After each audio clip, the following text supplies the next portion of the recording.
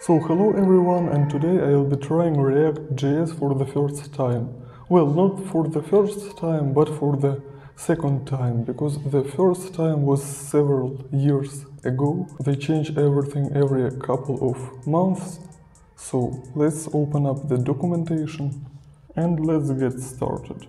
So here we see a simple tutorial, but we can't run it because, because we didn't install React.js.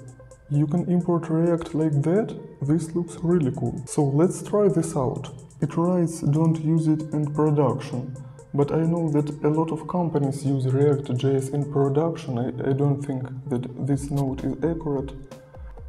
So let's try to run this application.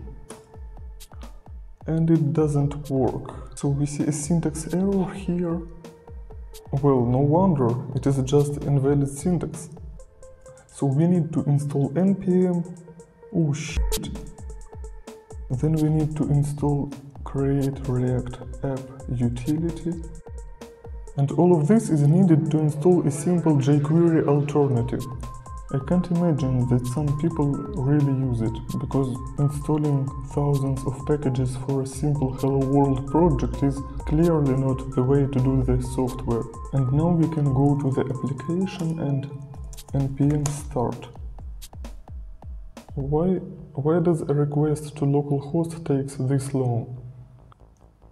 Okay, let's try to write something different here.